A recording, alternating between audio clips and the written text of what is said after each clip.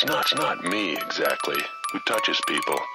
It's what I represent. The possibility that dreams from long ago may still come true, even if they, even if, even if, even if they look lost forever. I had a homie named Tony, 1662.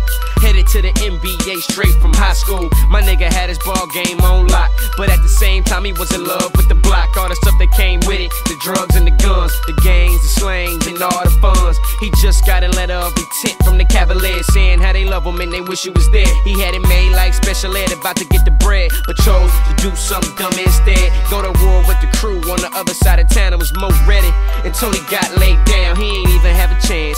Died for the ambulance, even got to him. So many went through him. I hate to tell the story, but that's how it is. Growing up in the hood as a kid, when you got big dreams. Don't listen to what nobody say, and don't let nobody turn you away. When you got big dreams, keep your eyes on the prize, don't fall to the wayside. When you got big dreams.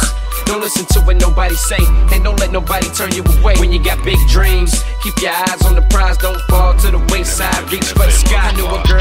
Gina that was a hell of a singer, and everybody fell in love with her when they seen her. Baby girl was on the verge of signing a big deal, 18, and life looked so so real. She was stuck with a dude that was all bad news, and all he ever did was give baby the blues, but she was true to a nigga.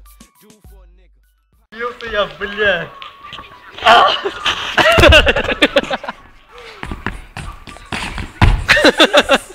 Я ж казав слід. Все?